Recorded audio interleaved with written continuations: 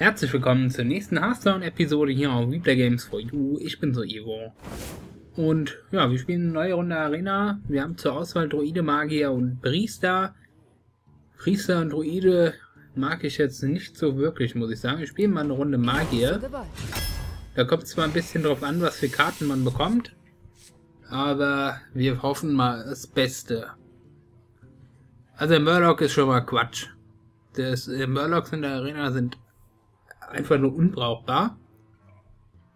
Ähm, der Abenteurer ist gut, der Agentum-Kommandant ist genauso gut. Allerdings denke ich, dass der Agentum-Kommandant in den meisten Fällen nützlicher ist als der Abenteurer, deswegen nehmen wir den. Ja, den äh, Patriarchen mag ich überhaupt nicht. Ritter ist ganz gut, genauso wie die Wache. Die Wache finde ich allerdings für 4 Mana 1 zu teuer, deswegen nehmen wir den Ritter. Hier nehmen wir den Söldner, der ist richtig gut. Irgendwie fehlen ein bisschen die Magierkarten. Eislanze ist scheiße. 7 Drop ist halt dann jetzt wieder richtig hoch. Wir nehmen mal das Kroko hier. Hier nehmen wir den Geomanten, weil wir zwei Drops brauchen, die anderen beiden nicht gut sind. Blutelfenklerikerin ist sehr gut. Oh je. Also der Murloc ist, naja. Der Herr der Arena ist scheiße, weil er nur 5 HP hat für seine 6 Kosten. Ich denke, der Ritter ist auch ganz okay. Ich denke, wir nehmen auch ihn. Ähm, Geomant bin ich jetzt nicht so der Riesenfan von. Das ist so eher so ein schlechter 2-Drop. Spiegelgestalt kann gut sein, in den meisten Fällen ist es es aber nicht. Und der Akolyt wäre mal ein Card Draw. Den kann man ja selber anpingen. Ich denke, wir gehen da mit. Hier nehmen wir auf jeden Fall die arkanen Geschosse. Pyromant oder Abo. Huhn ist scheiße. Ähm, haben wir jetzt einen Zauber, ne? Ein Zauber. Ich denke, wir gehen mit der Abo hier. Hier nehmen wir die Fanatikerin. Ah, ja, ja, wir nehmen, was nehmen wir denn? Also, winzige Beschwörerin ist Mist. Die wird so genervt, es ist leider nicht mehr nützlich, die zu spielen, weil der Vorteil nicht groß genug ist, ihn halt ähm, rauszucoinen. Das heißt, wir gehen entweder mit Gegenzauber, äh, Gegenzauber oder Zerstäuben. Die sind beide gut. Ich denke, wir nehmen Gegenzauber. Hier nehmen wir nochmal den Kommandanten. Das ist wesentlich besser als die anderen beiden. Hier nehmen wir das Wasserelementar. Kältekegel oder ein Zauberbrecher. Ich denke, wir nehmen den Silence hier an der Stelle. Hier die Jägerin, weil die anderen beiden Mist sind. Zauberlehrling ist eine der besten Zweierkarten. Moorkrabble ist ein sehr guter Spotter. Dunkeleisenzwerg ist sehr gut. Kirintor oder Sonnenläuferin. Wir haben relativ wenige äh, zwei Drops, deswegen nehmen wir den 3 Drop hier. Frostblitz auf jeden Fall. Bomber Arkane-Explosion mag ich überhaupt nicht. Einen Mana-Würm, sehr schön. Jetzt kommen da noch ein paar gute Karten. Aber Eber ist richtig Mist. Der ist im Prinzip nur bei Waffen gut. Deswegen nehmen wir den Champion hier. Haben eh noch keinen 7-Drop. Das ist alle, die sind beide Mist, weil Froster macht keinen Schaden und das ist dann nur im Constructed wirklich nützlich, wenn man sich da sowas aufbaut. Deswegen nehmen wir den Seher. Wird's halt äh, 3 Mana-lastig. Eisbarriere ist ziemlicher Scheiß, weil es halt einfach nichts bringt. Man kriegt 8 Rüstungen und hat dafür aber eine Karte weg. Das bringt halt nichts, wenn man schon unter Druck ist. Er bringt einem das überhaupt rein gar nichts. Das ist echt schade. Hm. Ich denke, wir nehmen hier die Arkane Intelligenz. Oh, Worgen ist sehr gut. Weil man ihn ja selber anpingen kann. Zauberlehrling, eben schon mal gesagt, eine der besten Zweierkarten. Ich denke, wir haben, was haben wir denn an Card Draw? Wir gucken gerade mal durch. Wir haben eine arkane Intelligenz und wir haben den Akolyten. Das ist äh, nicht so gut. Allerdings ist der Ingenieurslehrling auch keine besonders gute Card Draw Karte. Wir nehmen die Spiegelgestalt hier. Okay. Ausbilderin oder Wichtelmeisterin? Wie viele Zauber haben wir denn jetzt endgültig? Eins, zwei, drei, vier, fünf. Fünf. Nicht so gut. Ich denke, wir nehmen sie ja trotzdem. Ja, wir haben eins der schlechtesten Magier-Decks äh, bekommen, die ich mir vorstellen kann. Wir haben keinen Feuerball, wir haben keinen Blizzard, wir haben keinen Flammenstoß, wir haben keinen Sheep. Also irgendwas stimmt aktuell mit unseren Arena-Läufen nicht. Wir bekommen solche seltsamen Decks, das ist der Wahnsinn. Ein Frostbolt und eine arkane Geschosse haben wir. Wir hätten allerdings eine zweite arkane Geschosse haben können, wenn wir den Morgen nicht genommen hätten. Ja, das ist natürlich geil. Also ich glaube, ich habe noch nie, noch nie einen Magier-Deck ohne Feuerball, ohne Pyro, ohne Flammenstoß und ohne Blizzard. Ich hatte wenigstens eine dieser Karten. Aber gut. Dafür sind wir halt sehr Dienerlastig. Den brauchen wir anfangs auf jeden Fall nicht. Spiegelgespalt kann helfen, genauso wie der Bomber. Die behalten wir mal. Und den Mana-Böhm bekommen, das ist doch was. Das ist sehr gut. Vor allem, weil wir auch anfangen. Gucken, was er spielt. Gut, keine Geschosse, dann können wir ohne weiteres den Mana-Wurm spielen. Grüßen wir mal ihn. Aber erstmal wieder schön mit dem Katapult beschossen. Ja, also das ist auch wieder so eine seltsame Geschichte, was wir hier an Karten bekommen haben. Das ist wieder so ein typisches 4 bis 5 Siege äh, Deck. Verrückterweise. Ja, ich würde sagen, wir versuchen es mit dem Bomber hier an der Stelle. Bisschen schade. Oh Mann, das ist doch nicht dem sein Ernst, oder? Ups. Na. Bisschen ärgerlich, muss ich sagen. Egal. Es hätte alles passieren dürfen. Er hätte den, den, den Bogenschützen treffen können. Er hätte sogar einmal unsere Mana-Würm treffen können, aber zweimal treffen ist heftig. Okay, der ist aber ein bisschen komisch drauf mit seinem Gedankenschlag. Interessant auf jeden Fall. Das kommt schon mal auf jeden Fall. Wir können nichts anderes machen, außer die Spiegelgestalt. Deswegen spielen wir die auch. Der ist ein bisschen komisch drauf, dass er da so direkt auf unseren Kopf losgeht. Seltsam für einen Priester. Priester sind eigentlich eher ähm, langsam am unterwegs sein wegen der Heilung. Hat er vielleicht direkt jetzt auch eine Schattengestalt oder so? Okay. Gut, da kriegen wir jetzt schön viele Karten raus. Das ist gut für uns. Echt gut. Wir müssen den auf jeden Fall kaputt machen. Dann pingen wir unseren nochmal an, damit wir eine Karte bekommen. Können aber nichts spielen, dann greifen wir ihn jetzt noch an und das war's. Gut ist halt, dass dadurch, dass wir ihn kaputt gemacht haben, kann er ihn auch nicht wieder heilen und Karten ziehen und so weiter, wie, wie Priester das ganz gerne machen. Jetzt haben wir aktuell eher die Chance, Karten zu ziehen. Okay, hoffentlich triffst du ihn. Ist jemand verletzt? Trifft natürlich den richtigen. Ist aber nicht so schlimm. Okay. Erstmal machen wir das hier. Okay, das ist gut. Jetzt können wir nämlich das machen. Ziehen noch eine Karte. Und machen den mit Frostbolt kaputt. Und pingen ihn. Ihn können wir auf dem Feld jetzt lassen.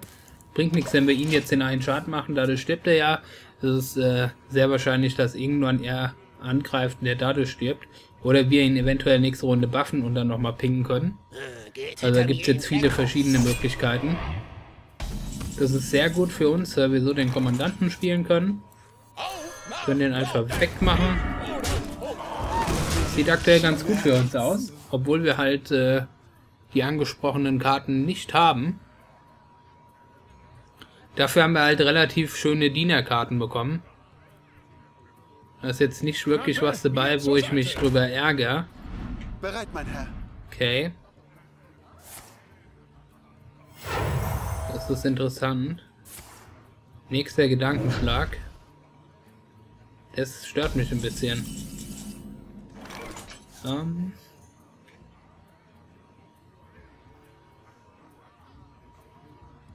3, 6 ist der stark. Ich denke, an ihm geht nichts dran vorbei. Dann greifen wir so an. Und greifen so an. Und pingen ihn. Okay. Gucken, was er jetzt gegen den Spotter unternehmen kann. Schattenwort Schmerz wäre bitter. Zauberbrecher geht noch. Ich hätte es nicht anders gespielt, wenn äh, ich gewusst hätte, dass er einen Zauberbrecher hat. Das ist auch nicht schlimm. Alter, das ist schon die zweite Elfenarcher, die er da hat. Schon krass, muss ich sagen. Das macht gar nichts. Das ist sogar ganz okay für uns. Ähm, den spielen wir auf jeden wir Fall, buffen ihn und töten schon mal den da. Dann würde ich sagen, töten wir die da. Und spielen die hier. Wir haben halt den Kartenvorteil auf unserer Seite. Das ist aktuell der Vorteil, den wir uns erarbeitet haben. Und das auch eigentlich der einzige Sieggrund aktuell für uns ist.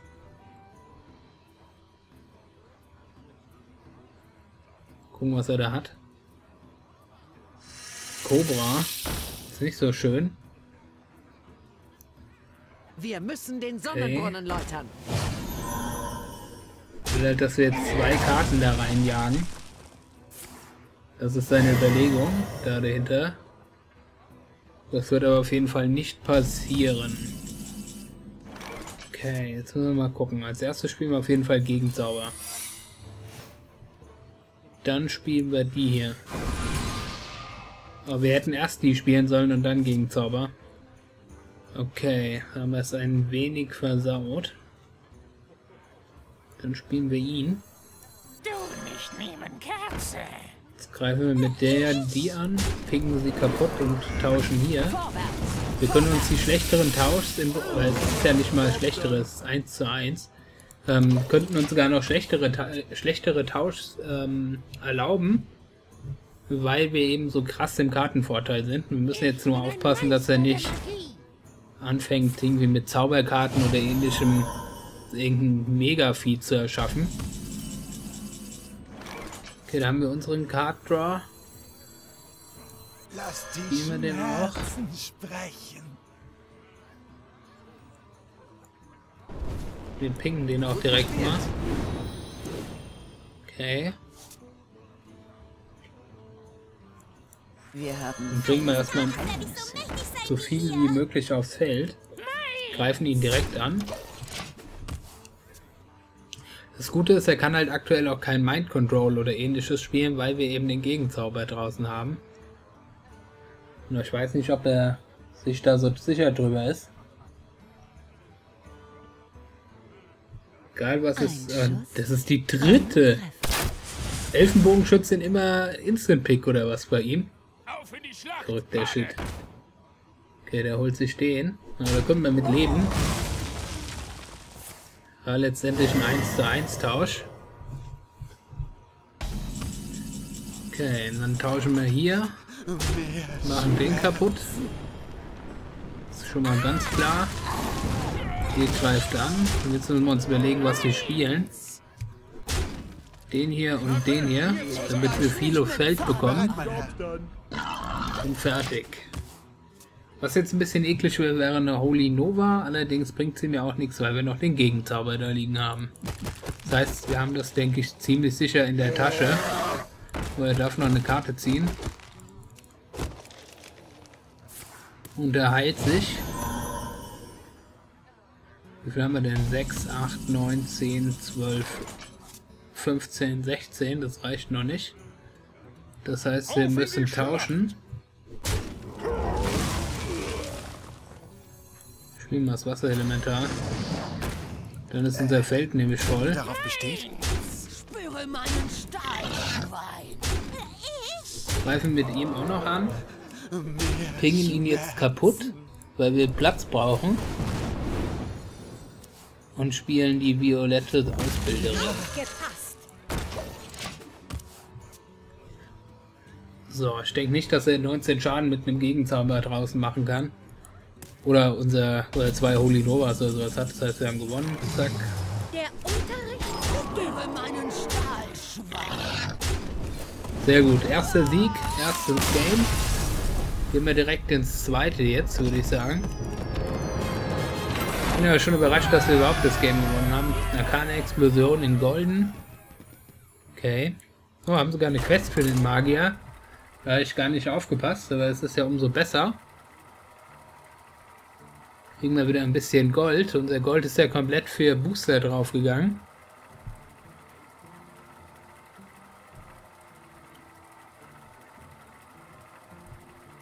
Ja, los doch. Los doch.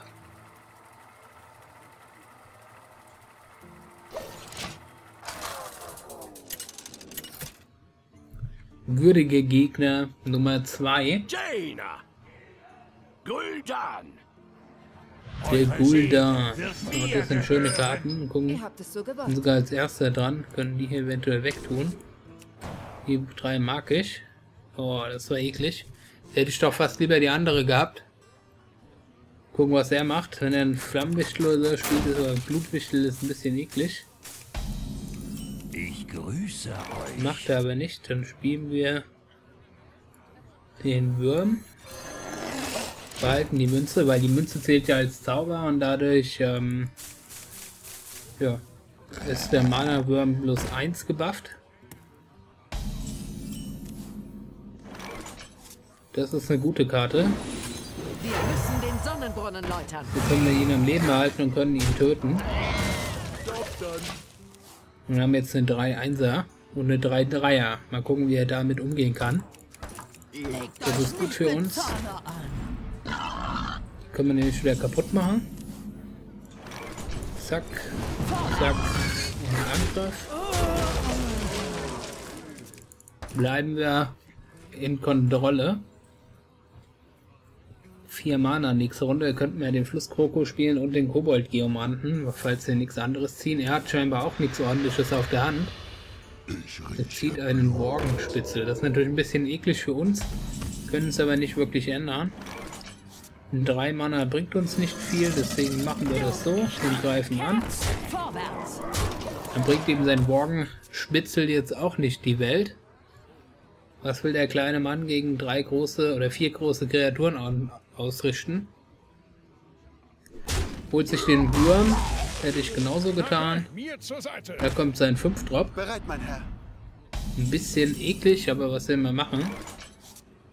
Ähm, das machen wir. Das machen wir. Das machen wir. Dann spielen wir jetzt zwei Kreaturen wieder und greifen weiter an, damit wir weiter den Druck aufrechterhalten können. Das ist ganz gut.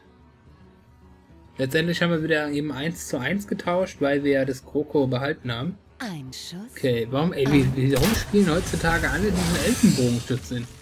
Das ist der Wahnsinn, ey. Der erste mit drei, der jetzt auch schon eine? Wir müssen den Sonnenbrunnen Okay. läutern. Echt verrückt, Mensch. Zack. Wir halten immer schön, das ist sehr gut für uns. Wir haben jetzt eben wieder zwei Stück getauscht gegen nix. Nur gegen den Schild. Scha Schattenblitz, okay. Haben wir halt auch wieder was weggezogen. Okay. Wir spielen ihn, können dadurch so tauschen. Und die anderen beiden wieder auf dem Feld behalten. Nächste Runde ist er tot, falls er jetzt nichts ausrichten kann.